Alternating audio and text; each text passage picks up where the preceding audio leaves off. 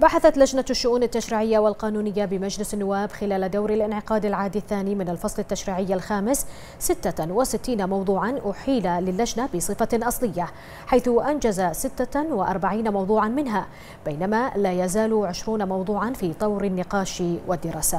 وللمزيد في تفاصيل هذا الموضوع يسرنا أن يكون معنا عبر الهاتف سعادة السيد محمد عيسى العباسي رئيس لجنة الشؤون التشريعية والقانونية بمجلس النواب. مساء الخير سعادة النائب. النائب. وهل لك أن تحدثنا عن حصاد عمل اللجنة وعن أهم الموضوعات التي تم رفعها خلال دور الانعقاد؟ أهلا مساء النور. وفي البداية يعني أحب أشكركم على هذه المقابلة وتسليط الضوء على أهم ما قامت فيه لجنة الشؤون التشريعية والقانونية في مجلس النواب.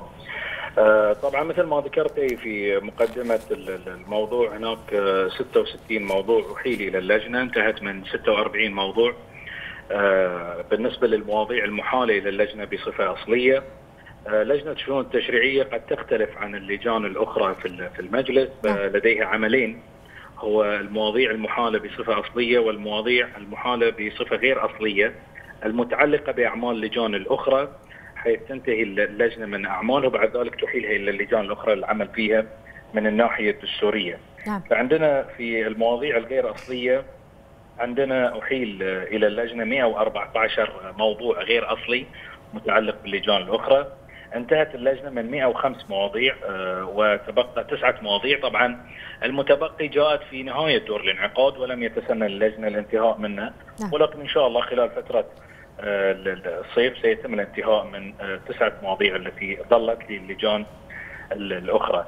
اجتمعت اللجنة التشريعية طوال دور الانعقاد 31 اجتماع.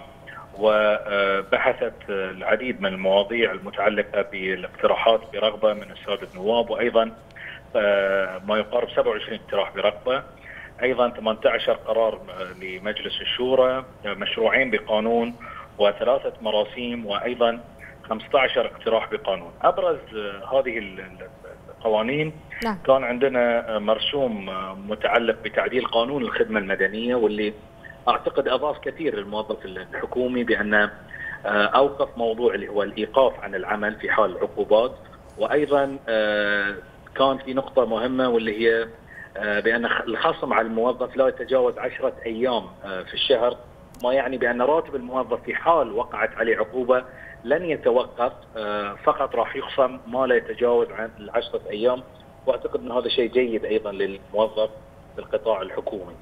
أيضا من المشاريع بقوانين اللي مرت على اللجنة التشريعية واللي آه، أيضا راح يكون لها أثر إن شاء الله طيب على المواطن بشكل عام هو قانون متعلق بشأن تملك مواطنين دول مجلس التعاون الخليجي للعقارات المبنية والأراضي في مملكة البحرين. نعم. وهو من المشاريع اللي آه، يعني كانت لها أهمية أيضا لدى اللجنة التشريعية وانتهت منها وصوتت عليها بالموافقة وذهب إلى الشورى أيضا وتمت الموافقة عليه.